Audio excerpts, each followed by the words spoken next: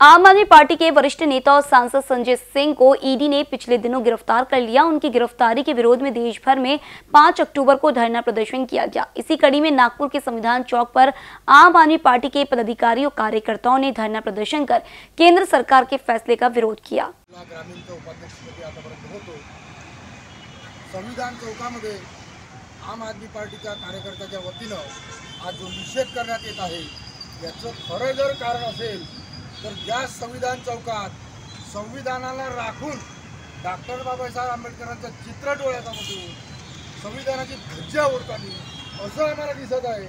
म्हणून संविधान चौकामध्ये संजय सिंगच्या गिरफ़्तार या कृतीला विरोध म्हणून आम्ही आज इथं जमा संजय सिंगच का?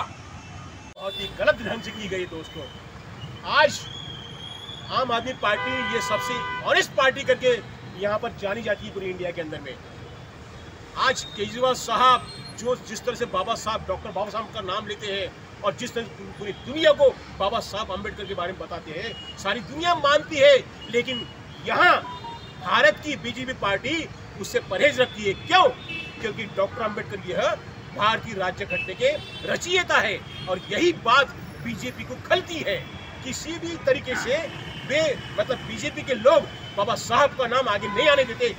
बेरोजगारी, भुखमरी इन सब बातों को पूरी तरह से नज़रअंदाज करते हुए यहाँ की मीडिया केवल और केवल बीजेपी की गुणगान गा रही है, और ये सारा, ये सारी दुनिया देख रही है कि इंडिया के अंदर में कितनी कितने डीप में बेरोजगारी बढ़ चुकी है। यहाँ पर हमारे इतने सारे प्रॉब्लम हैं। इन सारे प्रॉब्लम को दुनिया के सामने लाने के लिए जो जो नेता सामने आ रहे हैं जो जो नेता बीजेपी का चेहरा इस दुनिया के सामने ला रहे हैं, यहाँ की ईडी जो है, उन सारे चेहरों को पुलिस हिरासत हिरासत में ले रही है। और उनको डर है कि आने वाले इलेक्शन के अंदर में बीजेपी को बहुत बड़ा नुकसान होने वाला है। इसलिए चाहे आम आदमी पार्टी हो, चाहे और कोई पार्टियाँ हो, इतने, जितने भी बड़े बड़े नेता लोग हैं, इन्हें जेल का रास्ता दिखाया जा रहा है। लोक नेता को, एक जन नेता को किस तरह से गिरफ़्तार किया जाता है, इसका बहुत अच्छा उदाहरण ये भाजपाइयों ने हमें दिया। भाजपाइयों की इस बात की चिंता नहीं है अभी अभी कल के आज के ही पेपर में है कि नांदेड़ में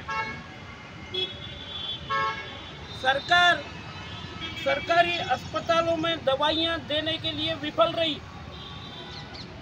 वहाँ पे जीवन आवश्यक दवाइयों की कमियाँ हैं, जिस कमियों के कारण कई लोगों की जाने गई। इस और सरकार का ध्यान नहीं है।